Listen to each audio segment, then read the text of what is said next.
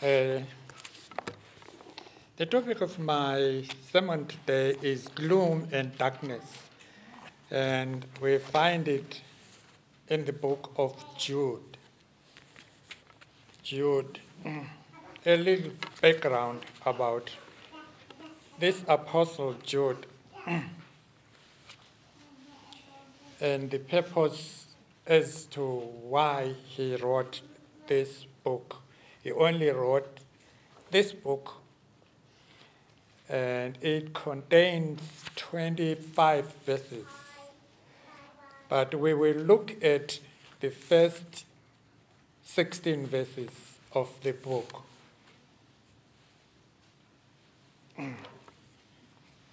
The purpose of him writing this book is to remind the church of the need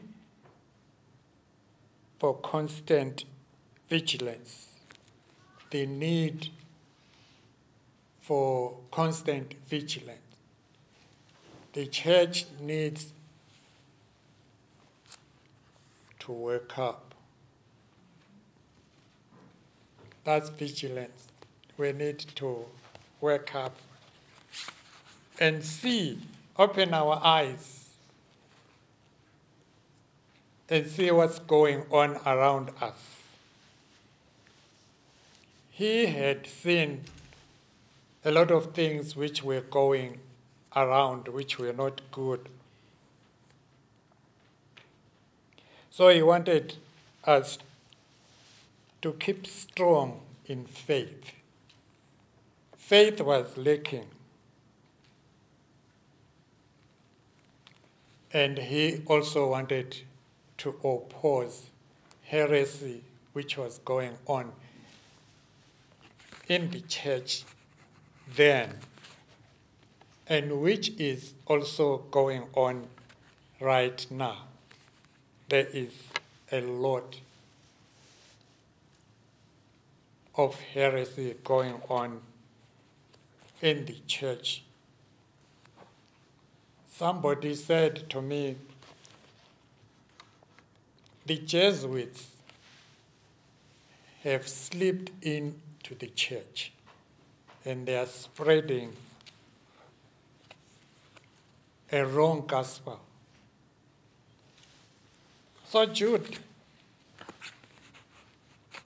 was directed by the Holy Spirit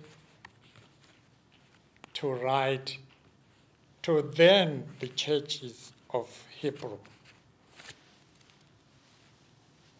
And this is exactly what is important for us.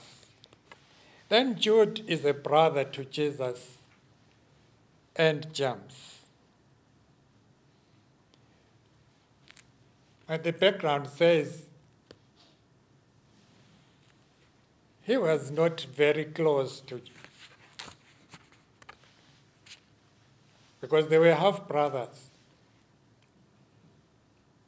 These were sons of Joseph.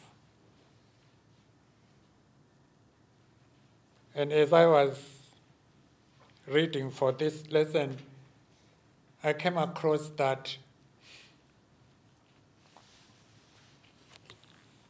uh, Jesus didn't have blood brothers. Mary didn't have any kids after Jesus was born. Maybe it's there, but I, I didn't say it. So he didn't have blood brothers.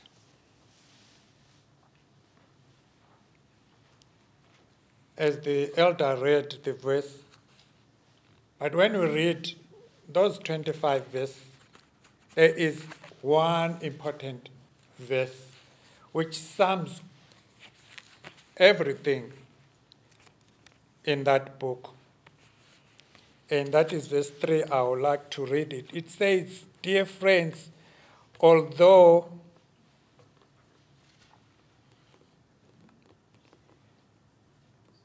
although I was very eager to write to you about the salvation we share, I felt I had to write and urge you to contend for the faith that was once for all entrusted to the saints. Faith entrusted to the to us. Says he says we need to contend about it.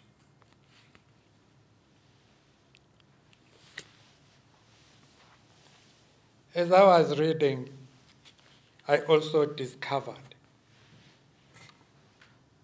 that Jesus really loves us. Really, really, if we have never taken time, sometimes we take it for granted. Jesus loves us. That's why he died for us on the cross. It is through love he has for us.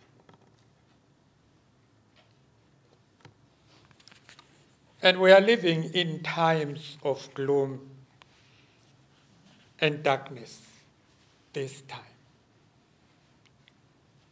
There's a lot going around.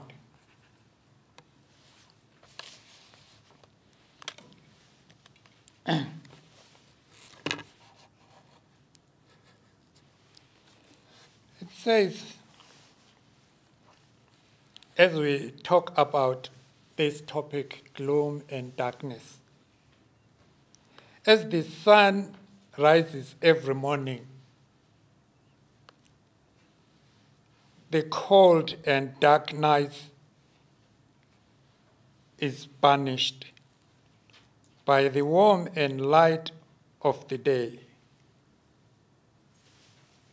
As the sun rises, darkness runs away.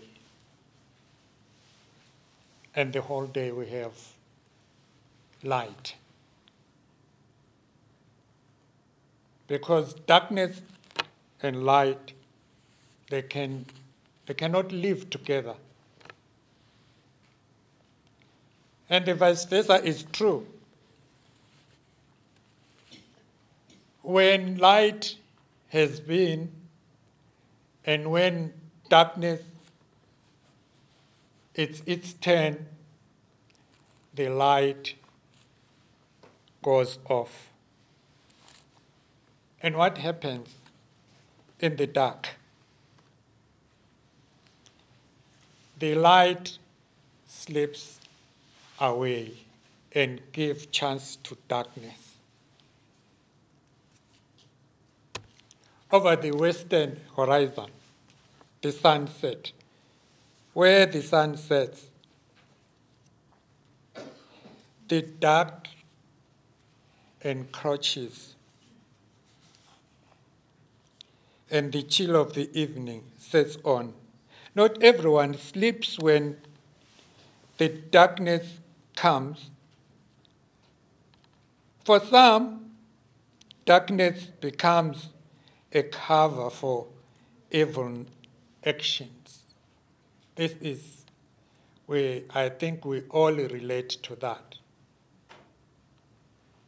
Most of the things happen when it's dark. Most of the things.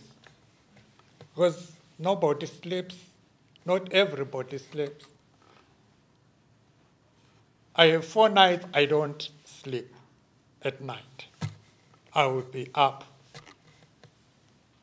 But you can ask yourself, what will you be doing during those four days of not sleeping at night? As individuals, you try to ask yourself, and I'm sure you know what you will be doing during the dark hours.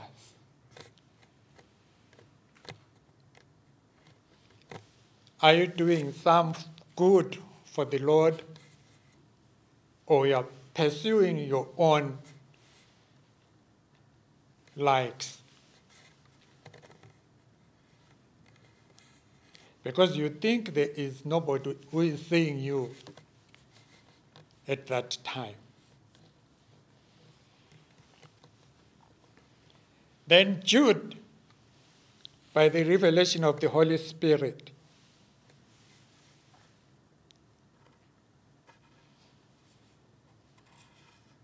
was introduced to writing what he wrote in the book.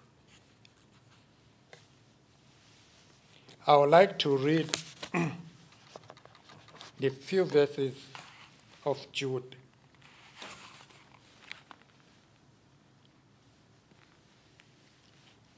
Uh, Jude 1, verse 1 says, Jude, a servant of Jesus Christ and a brother of James. To those who have been called, who are loved by God the Father and kept by Jesus, Jesus Christ, mercy and peace and love be yours in abundance. He goes on to say, Dear friends, although I was very eager to write to you about the salvation we share, I felt I had to write and urge you to contend for the faith that was once for all entrusted to the saints, that is me and you. For certain men whose condemnation was written about long ago have secretly slipped in among you. There are godless men who have changed the grace of our Lord into a little, into a license of immortality and deny Jesus Christ our only servant and Lord. Though you already know all this, I want to remind you that the Lord delivered his people out of Egypt, but later destroyed those who did not believe. And the angels who did not keep their position of authority, but abandoned their home. And their home is heaven. And those angels are a third which were thrown away from heaven with their master, the devil. These he has kept in darkness. This third bound with everlasting chain for judgment on the great day. They are waiting for the judgment on the great day. In a similar way, Sodom and Gomorrah and the surrounding towns gave themselves up to sexual immorality and perversion they serve as an example of those who suffer the punishment of eternal fire. We know what happened with Sodom and Gomorrah. In the very same way, these dreamers pollute their own bodies, reject authority, and slander celestial beings. But even the archangel Michael, when he was disputing with the devil about the body of Moses, did not dare to bring the slanderous accusation about him, but said, The Lord rebuke you. Yet these men speak abusively against whatever they do. They do not understand and what things they do understand by instinct.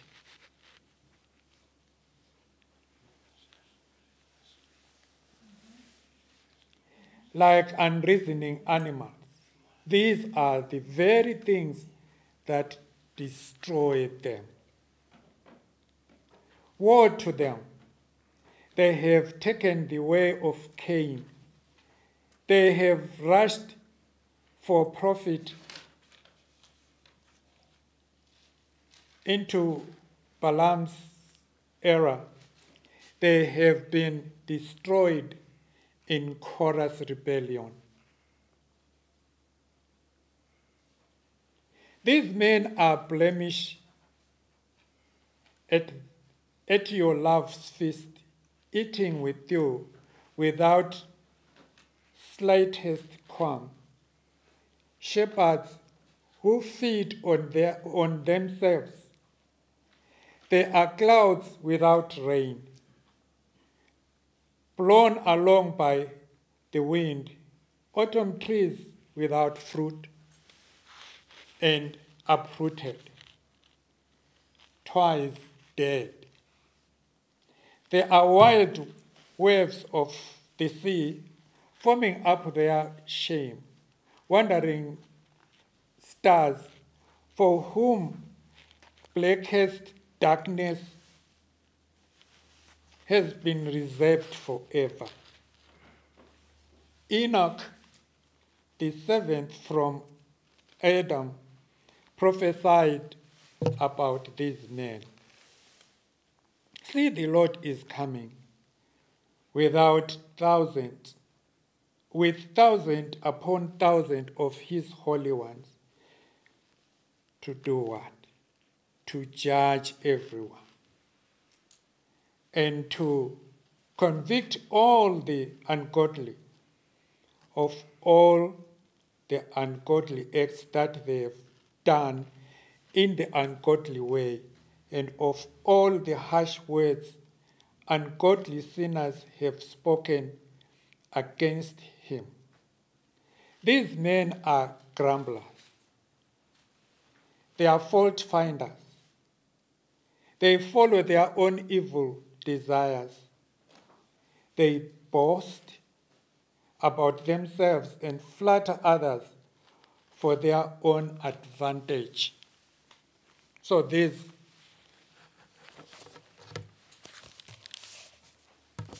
are fault finders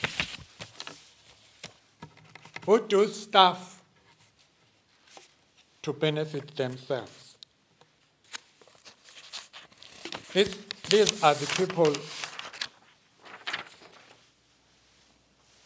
Jude is talking about. He says, they are grumblers. We have grumblers in the church even today. There is not, not even one thing they will agree, which is again, which is not what they think. They will grumble. They will always find fault, following after their own lusts, and they will speak arrogantly, flattering people for the sake of gaining an advantage. These are the people we live by, and they make our day gloom, and we stay in darkness. Because all we will do as a family or families in different churches is to grumble, is to want to be seen to be better than anybody else. Lo and behold, Romans says, all of us have sinned not some, but all of us, we have sinned.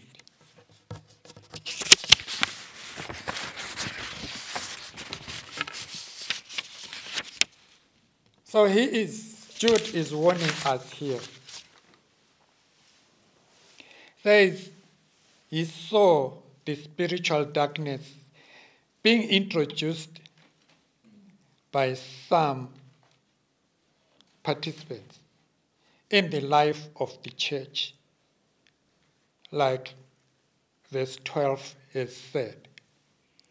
The people were saying that God forgives, forgiveness allows us to live immoral lives. That's fake. To live moral lives. That's verse 4 is telling us what these people, the grumblers, the fault finders, etc., they preach that the Bible tells us that such people are false teachers.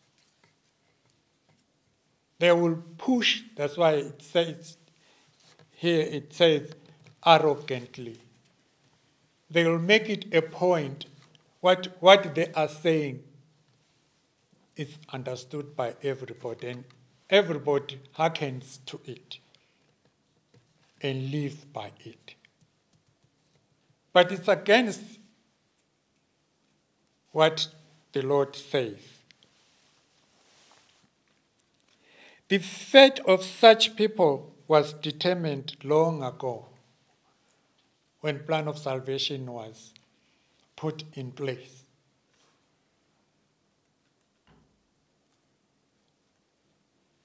What is that fate of being grumblers and making people do what you think is right, which is not what the Bible says.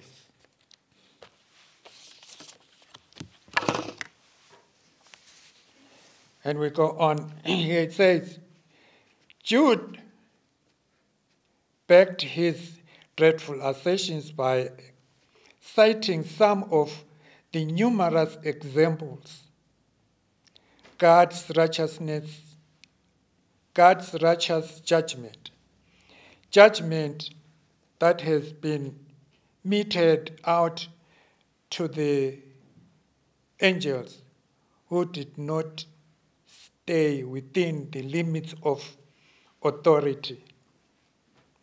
You listen to the devil talking to you and you arrogantly do what he tells they tell you to do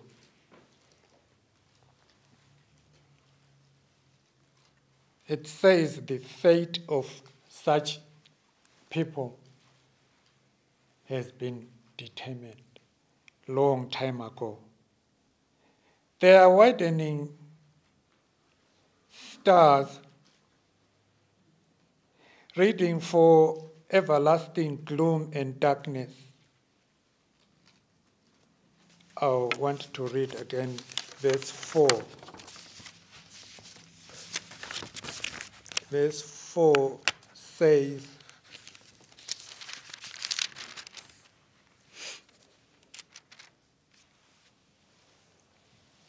For certain men whose condemnation was written about long ago have secret, secretly sent for certain men sorry for certain men whose condemnation was written about long time ago have secretly slipped in among you. They are godless men who change the grace of our God into a license for morality and deny Jesus Christ, our only servant and Lord. Their fate has been put into place. these godless men who live with us, who we listen to, and if not by the mercies of God, will be laid aside. We will follow and do what they are saying. Because they are godless, they are not giving godly things, which will save us, but which will make us lost. Because they are godless.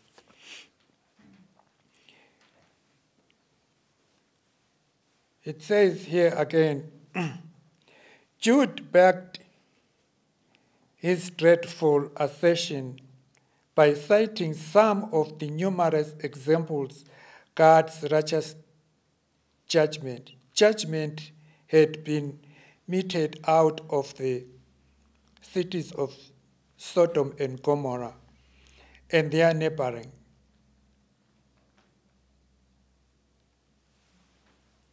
We are waiting for judgment. And judgment is not a bad thing if you live by what or by the standards of God. We should not be afraid of it. But as we read here about Sodom and Gomorrah, their sinning was overflowing even to the other cities surrounding them. And hence, there was punishment, guarded judgment, judged them. And Sodom and Gomorrah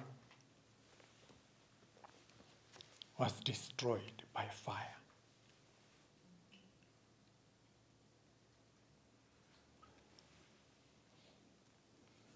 So Judea is telling us to watch out. What he was going to write about, the Holy Spirit put a stop and said, You better write about this. And this is what is going on.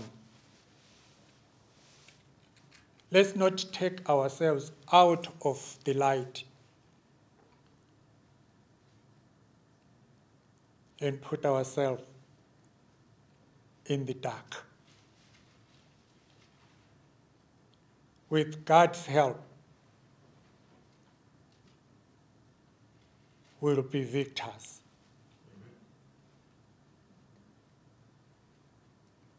Only with God's help.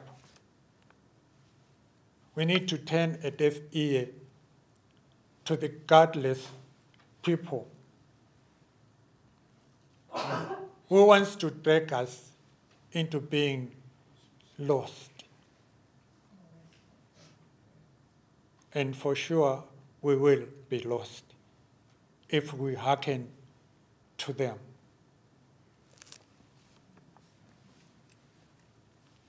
And Jude doesn't stop there. He says, Sodom and Gomorrah, their sin with sexual immorality. That is in verse 7. And to those who followed the examples of such evil men like Cain, we know what happened to Cain, and we know what he did.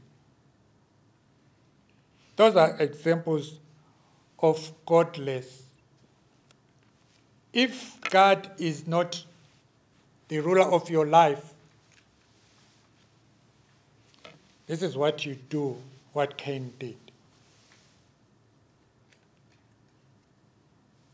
Cain had a dead conscience when he killed his brother.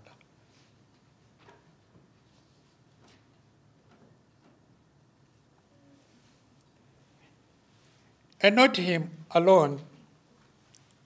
We have Balaam. We know what he did. He put a curse to the Israelites for money and fame. What about Korah? He also mentions Korah.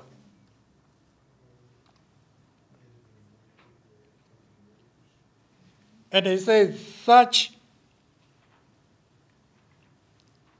will perish because of their rebellion. Jude demonstrates, as we can see through his, his writing, he demonstrates that the godless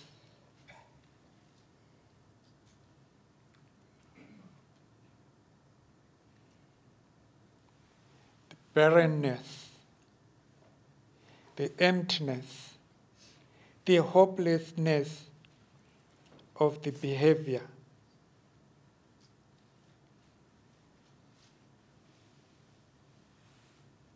can be put straight only by Jesus Christ. Let Jesus come into your heart. The Bible tells us that when God is in your heart, you have life eternal. And life eternal is what we need right now in this hour of gloom. You look around, you listen, you see nothing is good these days. There's a lot of killing. It's only done by godless people.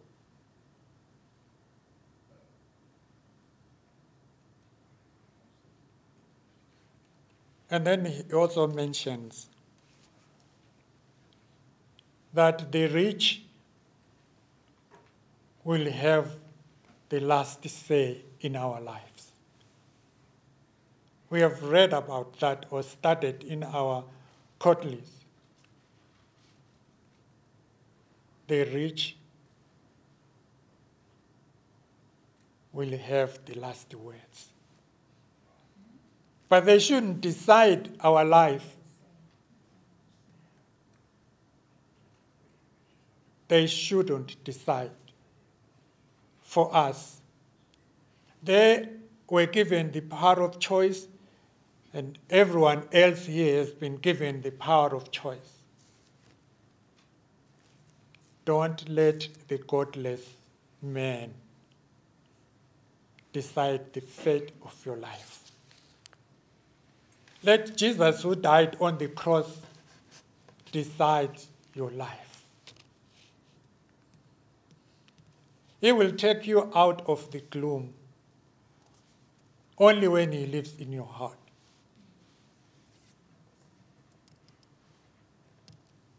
Darkness and light, they cannot live together. So when Jesus is in your life, the devil runs away.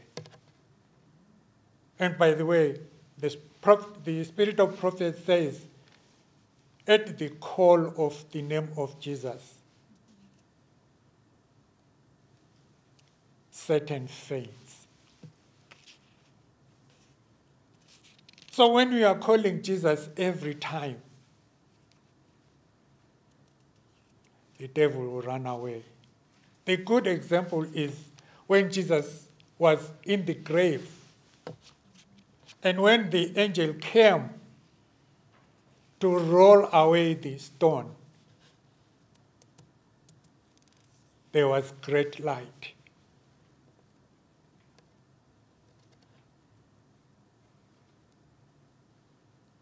Great light that made the devil and his angels to flee from the grave.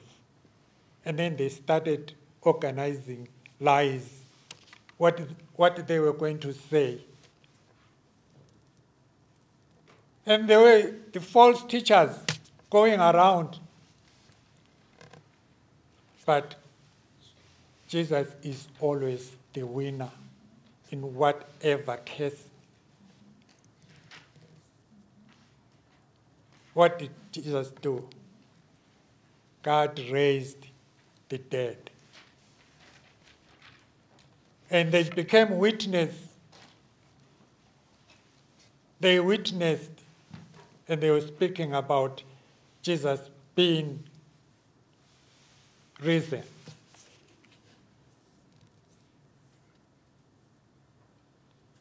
Brothers and sisters, let's lay our treasures. Let's lay our lives in Jesus. And Jesus has promised that he will never leave us. Whatever we get ourselves into, he still says, I will never leave you. That small voice will always speak. He says, Fear not, don't be, don't be dismayed. I will be with you till the end. God is, Jesus is going to be with us till he comes to take us home.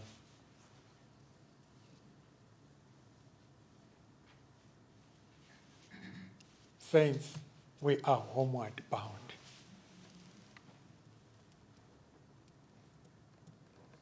We are homeward bound. All we need to do is to hold on, is to trust, is to obey.